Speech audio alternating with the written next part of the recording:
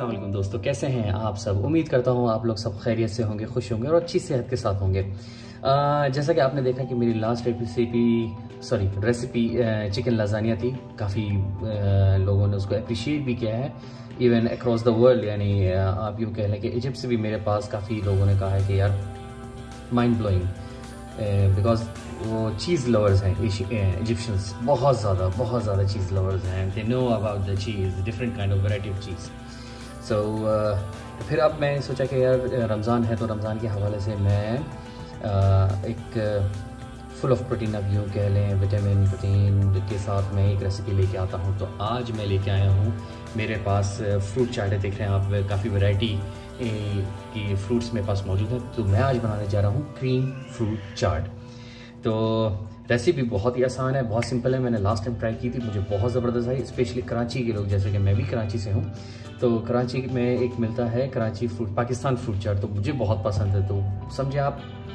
Hundred percent replica या आप replica क्यों कहेंगे? ये उससे ज़्यादा बेहतरीन चीज़ है। तो इंग्रेडिएंट आप इंग्रेडिएंट्स आप अपनी मर्ज़ी से कोई सा भी ले सकते हैं। मैंने चूँकि इधर अवेलेबिलिटी के हिसाब से अपने इंग्रेडिएंट्स लिए हैं। मैं ले रहा हूँ तकरीबन तीन बनाना या तीन केले। एक मैं नाशपति ले रहा हूँ, एक मैं सेब लूँगा। मेरे पास ये फ्रेश क्रीम है, यहाँ पे अलसाफी का है, पाकिस्तान में ये जहाँ भी उसके हिसाब से जैसे अवेलेबिलिटी का वो है। थोड़ा सा मैं इसमें दूध लूँगा, अंगूर ले रहा हूँ, खजूर ले रहा हूँ पाइन है और साथ में मेरे पास ये खरबूजा है। तो और शुगर एज पर रिक्वायरमेंट तो ये मेरी छोटी सी रेसिपी है, चलते हैं हम इसकी प्रिपरेशन की तरफ़। बहुत ही झटपट है क्विक है। सबसे पहले हम इसका बनाते हैं क्रीम तो तो मैंने एक मिक्सिंग बाउल ले लिया है। अब मैं इसमें डालूँगा सबसे पहले दो क्रीम फ्रेश क्रीम ये हंड्रेड ग्राम है। मैं 200 ग्राम ले रहा हूँ। साथ में हाफ़ कप ठंडा दूध या यूँ कह लें कि 125 100 मिलीलीटर आप दूध कह लें इट्स इनफ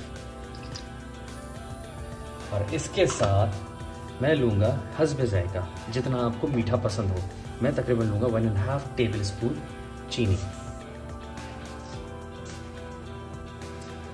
और मैं इसको करूँगा मिक्स मेरे पास आप चाहे स्पेचुला से कर लें या ब्लेंडर से कर लें या हैंड मिक्सर या हैंड ब्लेंडर से कर लें। मेरे पास हैंड मिक्सर है तो मैं इसको हैंड मिक्सर से ब्लेंड करूँ। ये पूरे जो इसकी विस्कोसिटी है, ये बिल्कुल सेम होनी चाहिए। थिकनेस बिल्कुल सेम होगी और काफ़ी फ्लफ़ी होगी। यानी कि अराउंड आप टेन पाँच से दस मिनट के लिए आप इसको ब्लेंड करेंगे हैंड मिक्सर से। तो ये बिल्कुल इसकी विस्कोसिटी बिल्कुल ज़बरदस्त हो जाएगी। एक दफ़ा मैं इसको ब्लेंड करूँ ब्लेंड करने के बाद मैं आपको दिखाता हूँ ये कैसा इसका फॉर्म आया है। तब तक लेते हैं छोटा सा। ये देखिए मैंने ब्लेंड कर दिया है। देखिए कंसिस्टेंसी बिल्कुल स्मूथ है। अगर आपने इससे ज़्यादा गाढ़ा रखना है, आप वो भी रख सकते हैं। इससे ज़्यादा पतला करना है, आप वो भी कर सकते हैं। अब बिल फ़र्स्ट आपके, यानी कि जैसे क्रीम और दूध का तनासब थोड़ा सा बिगड़ गया है या बहुत ज़्यादा गाढ़ा हो गया है तो आप उसमें थोड़ा सा दूध और भी ऐड कर सकते हैं। एक बात का खास ख्याल रखिएगा कि फ्रेश क्रीम और दूध दोनों ही चिल्ड होने चाहिए। तो इसके बाद क्या होता है कि जो फ्लेवर होता है, बहुत ही अच्छा आता है। क्रीम हो चुका है। अब मैं जाऊँगा डाइसिंग या चॉपिंग की तरफ़ अपने तमाम सारे फ्रूट्स को अच्छे तरीके से धो धा के, जिसको धोना है अब या पी ऑफ़ करना है, जिसको मैं चाहता हूँ। उसके बाद यह है कि फिर मैं एक छोटे से ब्रेक के बाद हाजिर होता हूँ और इसके साथ मैं अपने फ्रूट्स भी लेके आता हूँ, ताकि हम इसको फाइनल असम्बल कर सकें। जी। फ्रूट्स तैयार हैं, क्रीम तैयार है। सबसे पहले मैं डालूँगा अंगूर, खजूर और पाइन ये देखिए। अच्छा साइजेस आप अपने हिसाब से काटिए। मैंने इतना साइज़ काटा है, छोटा सा तकरीबन ऑलमोस्ट फिंगर रेंज तो फिंगर की तरह ये एक जो सेक्शन होता है, इस तरह का, ताकि मैं इजीली इसको खा सकूँ। तो आप अगर चाहे बड़ा पीस रखना, चाहे बड़ा रख, छोटा पीस रखना, चाहे छोटा रख। लें देखिए, तमाम फ्रूट्स के साइज़ सेम है ऑलमोस्ट ये देखिए, ये पेयर्स हैं, ये सेब हैं। मैंने पील ऑफ़ नहीं किया, क्योंकि मुझे पील ऑफ़ नहीं पसंद सेब में। ये खरबूजा है, ये देखिए।